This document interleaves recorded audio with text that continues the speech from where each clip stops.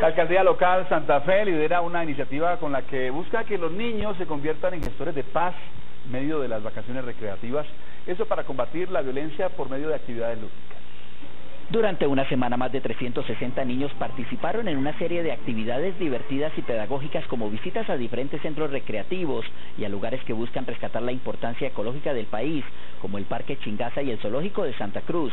Todo esto complementado con talleres educativos de comportamiento, compromiso y sensibilización. Todo esto hace parte de la estrategia adelantada por la Alcaldía Local Santa Fe para alejar a los niños y niñas de los entornos violentos y la drogadicción.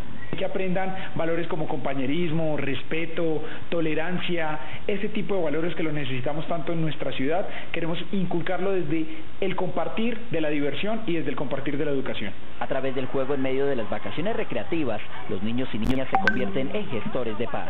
Este es un aporte también al ejercicio de la paz, de que si, nos si conocemos al otro, reconocemos su diferencia y sobre todo adicionalmente apostamos por creer que esa diferencia se puede subsanar o respetar, eh, va a hacer que nuestra ciudad y nuestra localidad sea menos conflictiva y adicionalmente sea más amena y en paz para todos los ciudadanos. De acuerdo a las cifras que maneja el Instituto Colombiano de Bienestar Familiar, diariamente en el país se presentan 66 casos de violencia contra menores.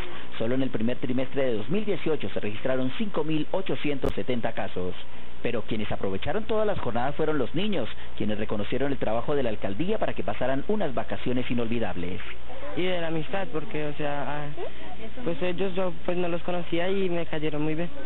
Lo que he aprendido es lo que uno compartir con los demás en estos paseos tan maravillosos. Estas actividades las realizará la alcaldía local de nuevo en diciembre como una de las apuestas para ayudarles a los niños y niñas a salir de sus entornos comunes y así construir una convivencia de calidad con aquellos que los rodean.